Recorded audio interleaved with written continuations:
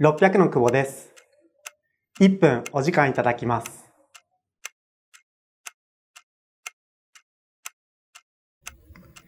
今回が4回目の起業なので、僕にとっては起業はもうライフワークのようなものだなと思ってます。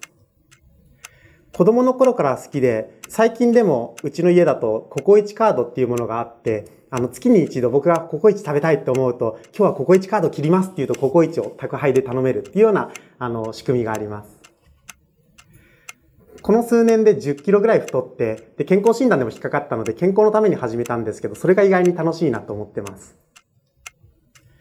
エスケープベロシティだけじゃなく、ジェフリー・ムーア、いろんな本がとてもこう予言書のように実際に現実に起こることが書かれているんですけど、その中でもエスケープベロシティはどうやってサービスをスケールさせるか、育てていくかっていうことに対して、とても示唆深いことが含まれているなと思ってます。